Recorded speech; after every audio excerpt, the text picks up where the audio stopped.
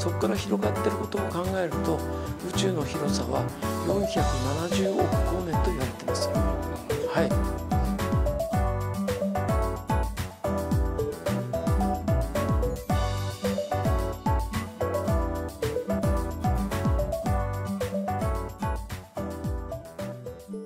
大学で、えーと、物理を選択してですね、えー、宇宙物理を勉強したんですね。えー、特にその中でもアインシュタインの相対性理論があの高校時代にすごく面白いなと思ったもんですから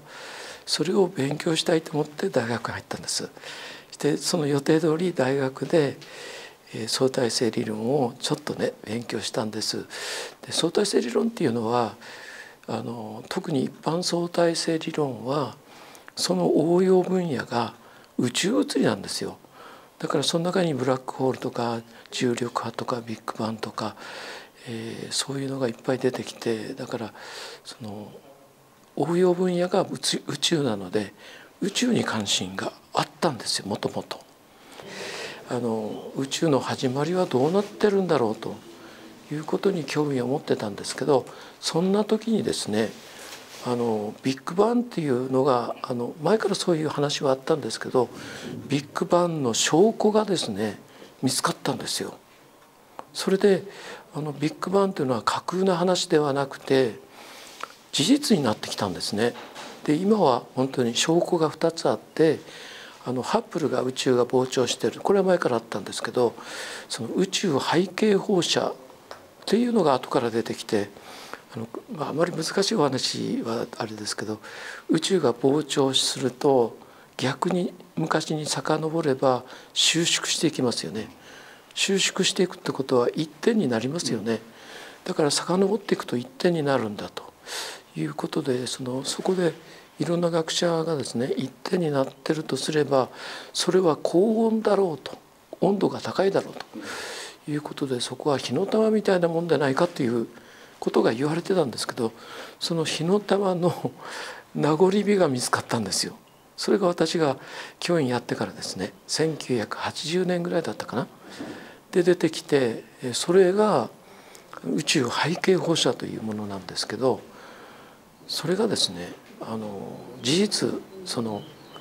宇宙の残り火だってことが分かってその発見した2人の物理学者にノーベル賞を与えられたんです。それ間違いないんですよ。だから宇宙は昔小さくて火の玉で高温高圧だったということがあの証明されたわけですよね。だから面白いんですよ。あの宇宙に関して興味を持ってることは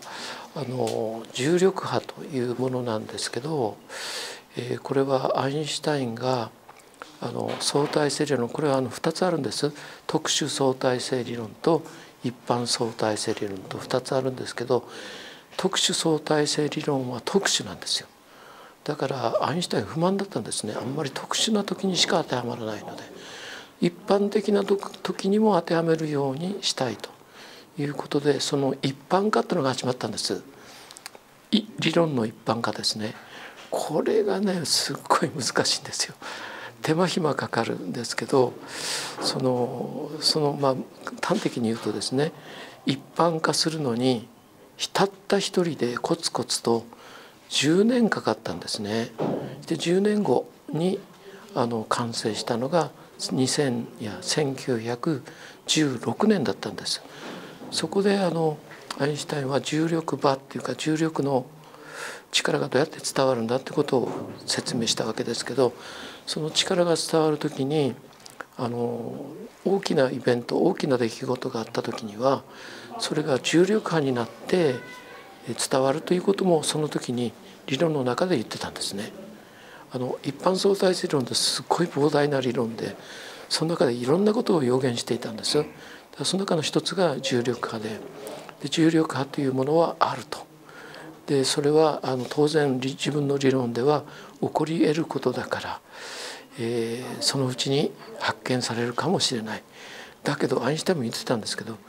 重力波っていうのはすごく弱いのでそう簡単に見つからないだろうと言ってたんです。で案の定ですね世界中でいろんな理論物理学者が発見しようと努力してたんですけど結果的にみんな失敗してましただけどあのアメリカでですね LIGO という観測装置これもですね優秀なあの人が作ったんです。その作った人がですねついに発見したんですね。2015年に発見しましてで詳しくこれが間違いないってことを確認するのに1年かかってんですね。で2016年に発表したんですよ。だからまあ100年かかってるっていうことになるんですけどね。実際にこれは間違いなかったんですよ。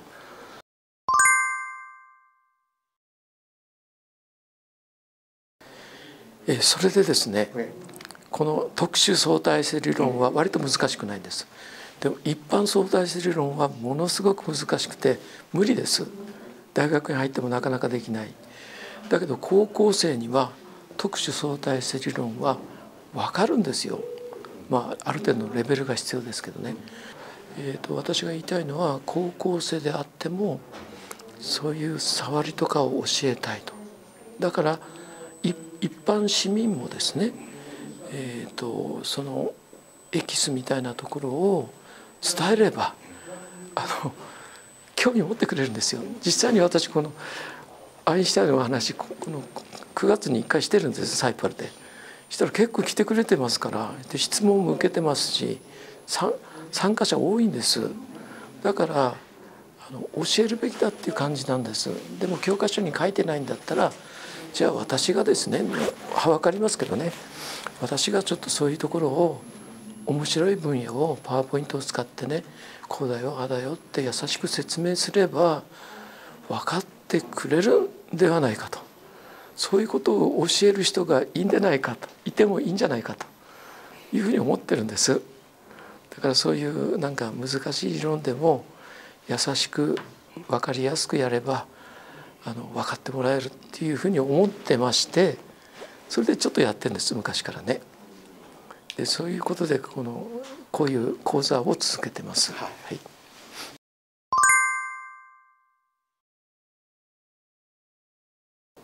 えーと、ニュートンが、えーと、いましてね。ニュートンは重力の理論を作ったんです。それは万有引力の法則ですよね。でニュートンはこう物体が2つあったら引き合うと。いうことを400年も前に作ってそれは正しいっていうことでずっと来てたんですけど覆したのがアインシュタインでして、でまあ重力波って何かっていうと端的にだけ言いますけどニュートンがですねリンゴが落ちたのは万有引力だって説明しました。この万有引力は無限の速さで伝わるんです。あっという間に、えー、相手はこれ地球です。地球とリンゴの間に万有引力が働いてリンゴが落ちた。これがニュートンの考えです。これは正しくないんです。100%間違ってんです。正しいのはアインシュタインでアインシュタインはですね空間だって言ったんです、えー、こういうことです。地球が下にあると地球の重さが空間を歪める。空間が歪めたらそれは時間がかかるんです。歪めるには。で時間がかかってこのリンゴに伝わってきてリンゴにそれが伝わってきた時にリンゴが地球からじゃなくて空間から力を受ける。その伝わってくるのが重力波だと思ってください、えー、重力波っていうのはそういうものでありえることなんです。まあ理論的に解けるんですけどね。そんなようなことでアインシュタインは重力は空間を曲げると言いました。これは一般相対性理論で言ってるんです。一般相対性理論は本当にいろんなことを含んでますから説明してたらきりがないのでここでやめたいと思います。重力はこんなふうになっています。アインシュタインはですねここに物体があるとこの物体が空間を歪めるんですって。まあ実際に歪むんですけどその歪みがこっち側のところに伝わってきたらこの物体が伝わってきた時に引かれるんですよだから何を言いたいかというと時間がかかるんです万有引力は伝わるのにパッと引っ張るんじゃなくてこっちにできて少し時間差を置いてこっちが引っ張られるんですよ。波波となって伝わるからなんです。歪む空間が歪むのはそれが伝わる現象が波なんですよ。それが重力波なんです。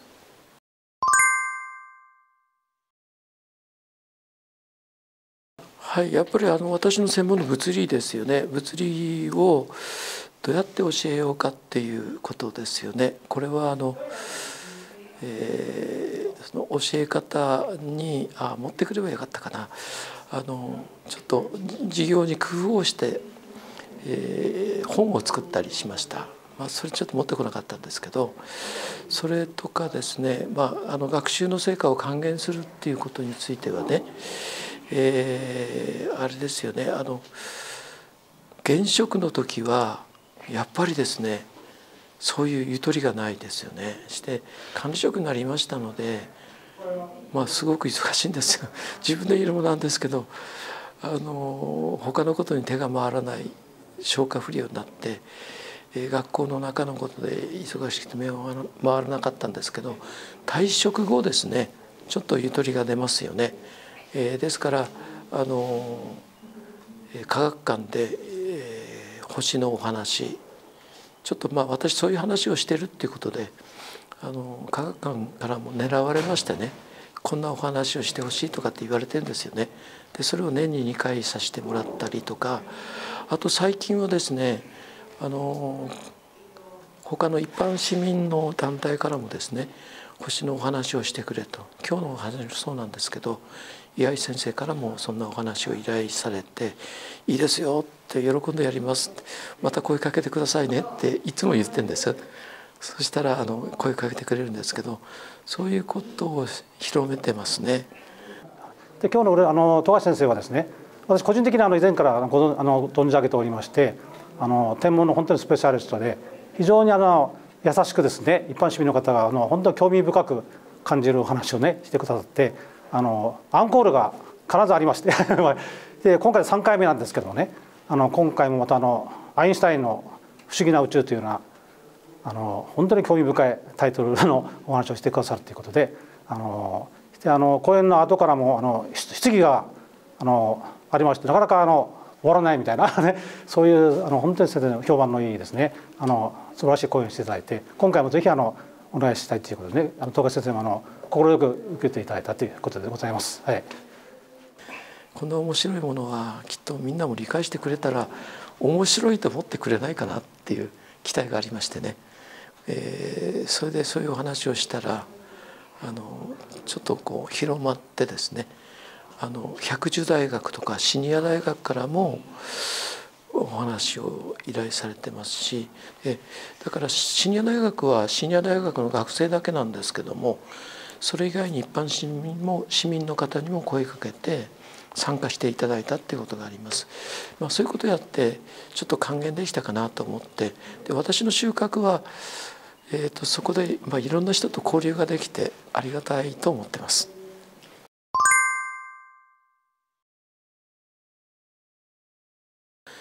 新しいことが発見されたら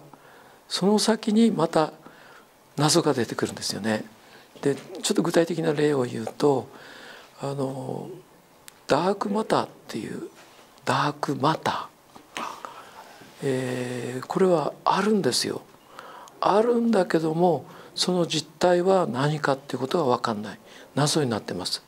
それから宇宙がですねあの宇宙の膨張がだんだん広がってって最終的にまたどっかで U ターンして縮むんだろうっていうふうなことも思われたんですけど結論を先に言いますと宇宙の膨張がだんだん速くなってるんですそれを宇宙の加速膨張っていうんですけどその加速膨張の原因が不明なんですよ。で分からないもんだから 加速膨張をさせるっていうことはエネルギーが必要なので分からないエネルギーという意味でそれをダークエネルギーって言ってます。でダークマターとダークエネルギーが謎なんですよね。これがだからねますます興味を引いてるんです私は。でその謎が深まってくるんですけど人類はいつかその謎を解明するんではないかと思うんですけどそれがどうなっていくかってことが勘違いなんですね。だからまあ終わりがあってやめるんじゃなくてまあ、その前に私命がつきますけどもねずっと命がある限りは謎が深まっていくんじゃないかとだからまあ少しでも解明するのを生きてる間に知りたいということですよね。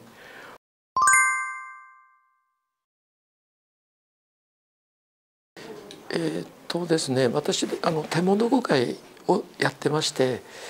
えー、私とつくづく今感じてるのは私みたいなロートルがいつまでもやるもんではないと、えー、最近ですね天文同好会に入ってくる若い人が少ないんです。どこのどこの同好会もそうなんですけどやっぱり若い人たちを育てて私の後継者ですね。その人を作らなきゃいけ作らなきゃいけない、えー、それから興味を持ってもらうことが先で興味を持ってもらえればこういうことに明るくなる人も出てくるだろうから後継者を作ってそういう人たちにバトンタッチしていくのが宿題かなと思ってますのでそれをやんなきゃならないなってちょっと感じてます。私つくづくそう思ってましてね、はい、やっぱりあのして今高齢化世代だし退職してもえまあ、皆さん60で仕事を辞められてもですね百獣大学ってとこに教えに行ってるとあれですよ結構来るんですよ参加して。で何を求めてくるかっていうとそれはやっぱり学びの場ですね。それと他に友達ですね。友達老人同士の友達。で若いからエネルギッシュですよまだまだ。だからそういうことは大事だし障害学習っていうのはこれからますます大事ではないでしょうか。あの特にですね、えー、特にというかなやっぱり一定の年齢になったらそれ相応の勉強もありますね。えー、大学とか高校で学ぶのはちょっとこう限られた勉強だけど年相応に学ぶ内容が違いますよね。そういうことを学ぶ機会必要ですよね。でそれは求めてると思いますね社会の人たちは。あの障害学習ってことはこれから力を入れて行かなきゃいけないんだと思ってるし私も協力できることがあれば協力させていただきたいと思ってます。